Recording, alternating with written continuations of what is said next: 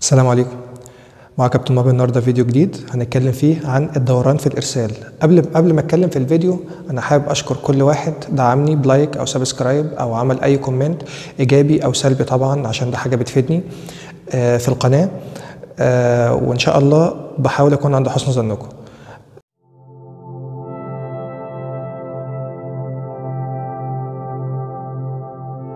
آه، هنتكلم النهارده عن الدوران في الإرسال.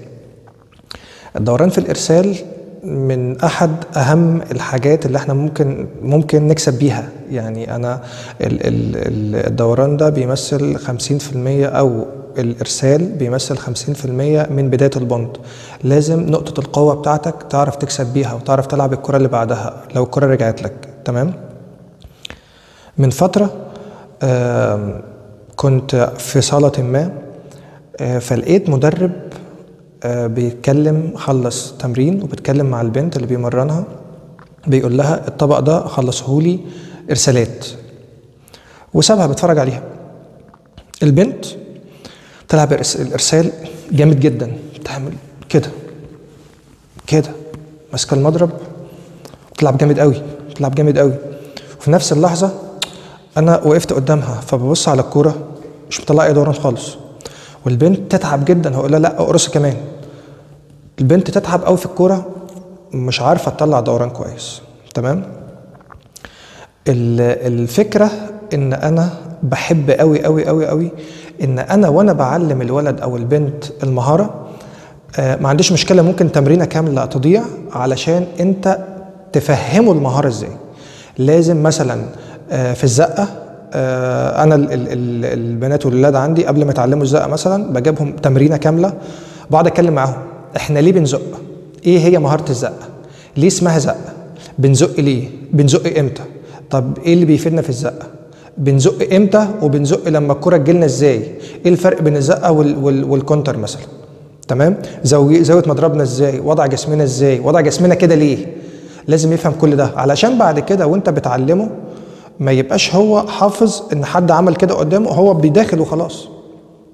تمام؟ آه فأنا بحب جدا إن إحنا نعلم الولاد يعني إيه إرسال يعني إيه دوران. قبل ما نفهم أو قبل ما نتكلم دلوقتي في ثلاث حاجات لازم نعرفها الإرسال بتلعب إمتى؟ يعني توقيته إمتى؟ أي توقيت ضرب الكورة إمتى؟ تمام؟ وبتلعب منين؟ منين دي بتنقسم لشقين؟ وبتلعب إزاي؟ يعني إيدك رايحة فين وجاية منين؟ أنت بتطلع أنهي دوران أصلا؟ تمام؟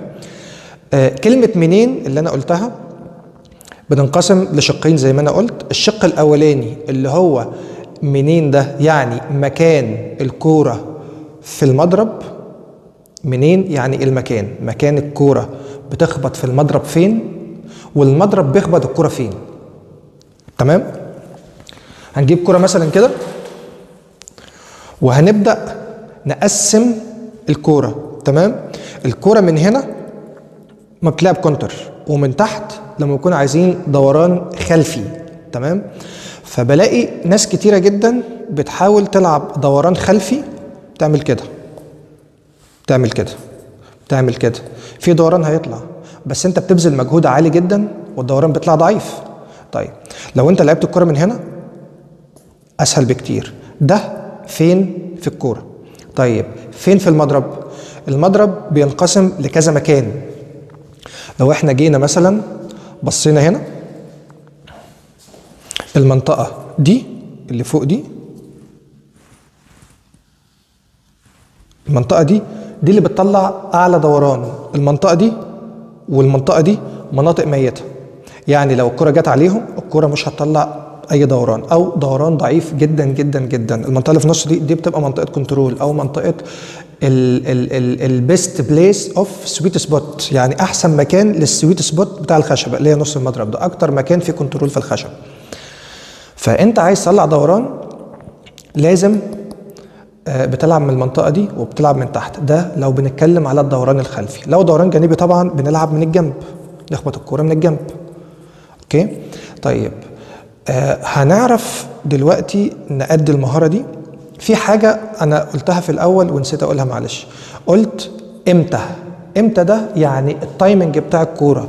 يعني أنت مثلا بتقف ترفع الكورة كده ما تلعبش الكورة من هنا. استنى الكورة تنزل والعبها تمام؟ هنحاول دلوقتي نلعب دوران خلفي إرسال بدوران خلفي.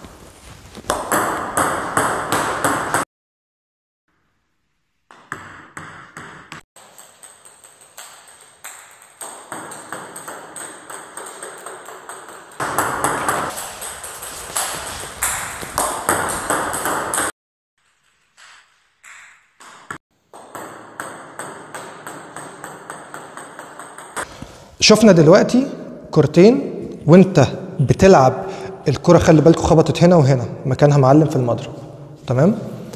آه، ففي المكان اللي أنا غالبا في المكان اللي أنا بشاور عليه okay؟ طبعا مع حركة wrist إيدك اللي أنت بتلعبها كده ما تمشيش كوعك تحاول وأنت بتلعب ما تلعبش كده كده. أنت كده مش هتطلع دوران أنت كده بتموت دوران الكورة أو بتموت الدوران اللي ممكن يطلع من إيدك تمام؟ فحاول إيدك تمشي كده كده. حاول ريست إيدك يخبط الكوره كده لكن ما يمشيش كده ما ترميهوش امسكه كده. تمام؟ ده طبعا إحنا شايفين إزاي الكوره آم، بتطلع دوران عالي أو إزاي أنا قدرت اطلع دوران عالي في الارسال. آه، في نهاية الفيديو اتمنى اكون استفدنا حاجة النهارده وقدمت حاجة مفيدة. آه، ما تنسوش طبعا تدعموني بالاشتراك في القناة وتفعلوا زر الجرس عشان يوصلكم كل جديد. متشكر جدا. سلام عليكم.